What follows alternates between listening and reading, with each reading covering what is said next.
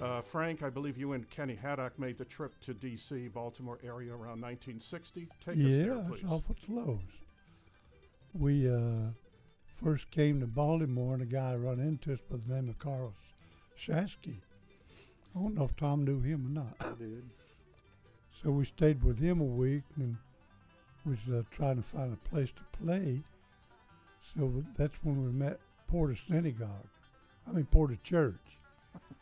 He's played a place called Whitey's, and he gave us a job with him.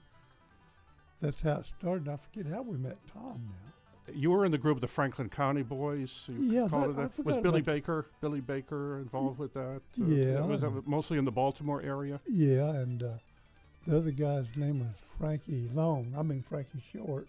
Frank Short, yeah. And uh, let's see, and uh, Lamar Grier. I think Lamar Grier, the first record he ever done, was at Pete Roberts' studio with me. We did the Leon Morris, I believe it was. Mhm. When did uh, Harley Red Allen make his way to the D.C. area? And tell Oh. us about that uh, Yep. to renew the re- relationship you had in the Dayton, uh, Ohio area. Yeah, when we moved to D.C., Red followed me down there. and and uh, actually, what happened was, I ain't going to tell you why he moved down there. Uh, he might not want anybody to know about it. but uh, then he came down and we started playing, and we got Tom Morgan. He started playing bass with us. Uh, you came out and did a demo recording out at uh, my recording studio, and at the time, you had uh, Robbie Robinson Oh, playing playing banjo with you, but uh, he was from Columbus area, wasn't he? Let's talk about WDON now. Uh, first of all, it's probably directed to uh, Pete. How did it come about? First of all, the, if you could give us a little back history of WDON, was it the, the dad uh, Everett uh, Dillard or the son Don Dillard or Right. someone else that uh, facilitated? Well, this? it was it was a local. Uh, Yeah, I got the show, and we turned it over to Pete right. to get the. uh, that's right because uh, it was one of the things where the the sponsor was able to get a sponsor, and they all of a sudden they became interested in you as a band. And because I uh, was working for the sponsor. you were he Frank was working for the sponsor Banner Glass, yeah. and uh, uh, I think it was Red or Frank contacted WDON. They had a number of local bands on the station, you know, at the time, and uh, I th- I would say that that Red and Frank, as far as music was concerned, were a step above most of the local bands that they had on, and uh, so we started cutting uh, half-hour radio programs to not unlike the way that even the, the, the bands that would play the local radio station to promote their uh, personal appearance calendar. And uh, they would, uh, you know, we would play 15 minutes, have 15 minutes sponsored by Banner and Glass, and then and we'd tell them where we were playing. And at the time, we were, you all were playing a little bit around, but not a whole lot. And uh, that was one of the reasons why we got it.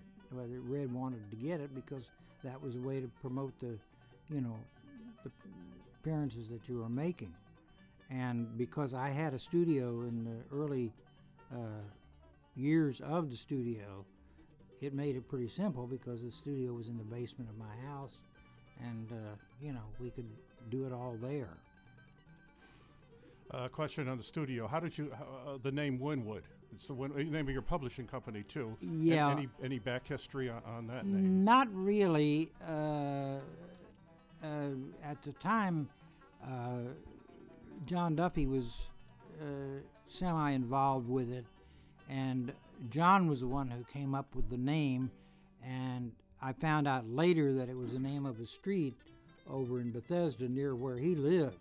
So it wasn't any brilliant, uh, you know, deep meaning behind it, but it just was a name that was has not had not been used at the time.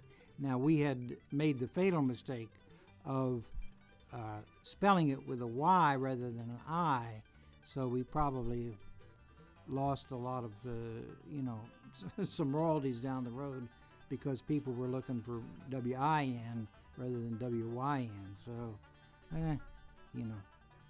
This man to my left had the challenging task to go in there cold turkey and follow with something creative and coherent after Frank had got through ringing out the mandolin on every break. So this was Pete's challenge, and I don't mind telling you, I played with several banjo players in this world, but the way he handled that, I think, will be fully evidenced by the recordings that are getting ready to come out. Mm. Well, Love you, brother. you. Thank Here, you. here. Let's talk about the uh, uh, the venues, quote unquote. Lone Pine Inn, of course, and Cousin Nick's, as were you know the advertised places. Uh, uh, how did the playing come about? What was the reciprocal arrangement of? Uh, obviously, this is their plug. We called it un- underwriting in public broadcasting, as Yeah. you know, but back then it was just plain old sponsorship. Plain old po- sponsorship.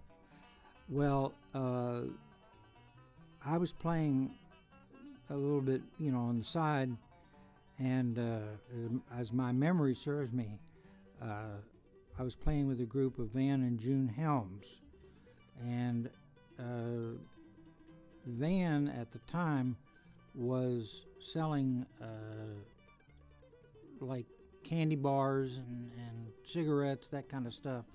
And uh, this uh, cousin Nick's was right across the street from one of the DC bus barns, and uh, it was just a standard little uh, local restaurant.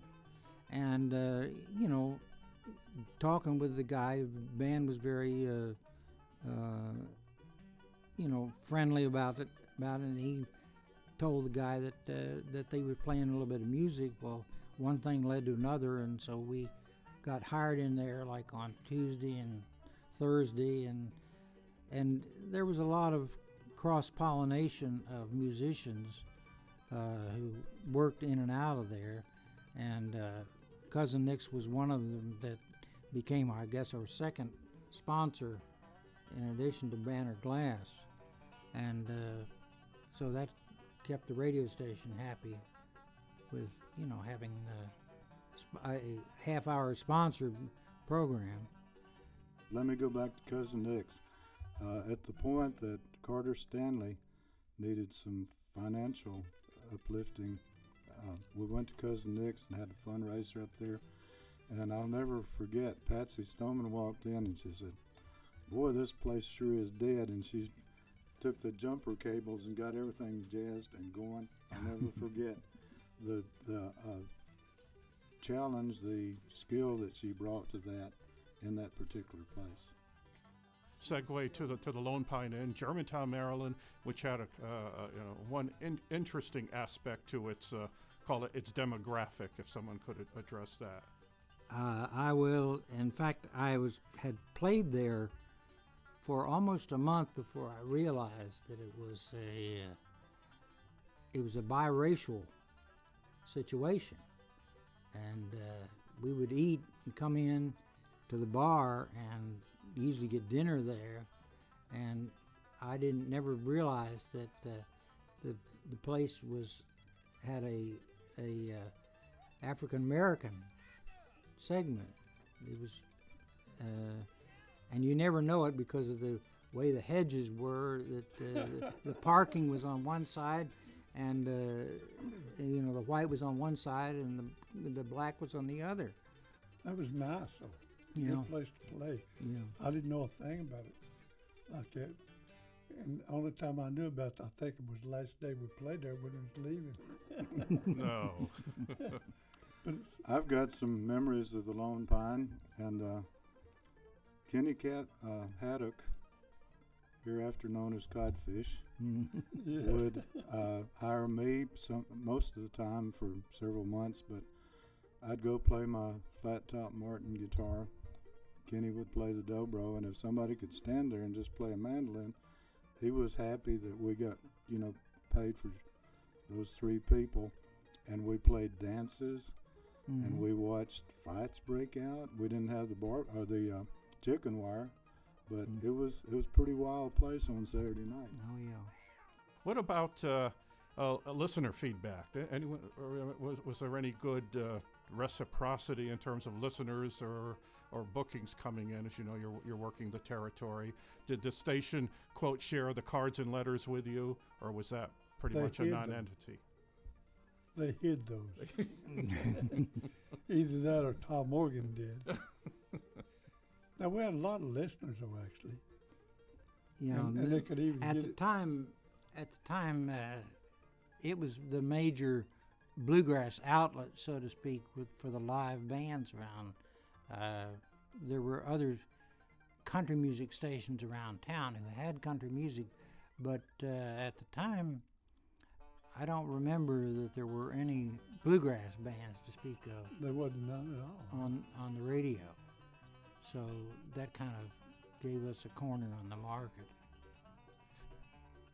Let's talk about the material. We need to turn Frank loose on the mandolin here. So, material that we use. Frank's ready to play the new Camptown, and and uh, you're in the you're at Wynwood Studios. You're going to come up with 15 minutes. Are we, uh, uh, uh, I assume we're working a lot with uh, from songbooks, from memory, a combination of the two, in terms of, of material pick for the broadcasts. Just memory only. Memory only. Yeah, most of it, you know, we use the Bill Clifton songbook, but that's about, that was pretty well what uh, the stuff that was released on Folkways came from, and we just went through the Bill Clifton songbook, and you know, and I don't think did we ever rehearse it? I don't think we. No. Don't think, I don't think so. It didn't. If it didn't make it the first time, you know, we might go back and do it again, but generally, We no. never did go over anything two times. I don't think. No. That's my recollection also. but I've made a little contribution though. I'd sneak in a Bailes Brothers thing like, I guess I'll just go on dreaming just the same, and uh, we, we did a little flavoring there that uh, went a little different direction. Well, that's one of the beauties, I think, of the repertoire that, that it's mixed. You weren't just covering the, you know, the, the basic quote book, quote unquote, the Bailes Brothers thing sneaking in there, uh, uh, wonderful harmony and mixed That things, was- duets, trios, solos, all over was the place. tha- that was partially, at least, m- what I was thinking about because I, while I could play the standard uh, little cabin home on the hill and that kind of stuff, but I, I got bored easily, so I started looking for other pieces of material that would work in a bluegrass context, and that carried over when I went with the Country Gentleman. Sometimes me and Red uh, would, would write a song before we get to the studio, like that, uh, that one you sent me a copy of it uh, years ago. Uh, what was the name? it? real pretty song. Would be in the car and sing, start humming around, sing, write a song on the way to his studio. Would get in there and do it like that song "Don't Lie to Me." You remember that? Mm-hmm. Me and Red wrote that, mostly in the car going to the studio. Tom was already there. He beat us to it. And we'd just get in there and play it one time.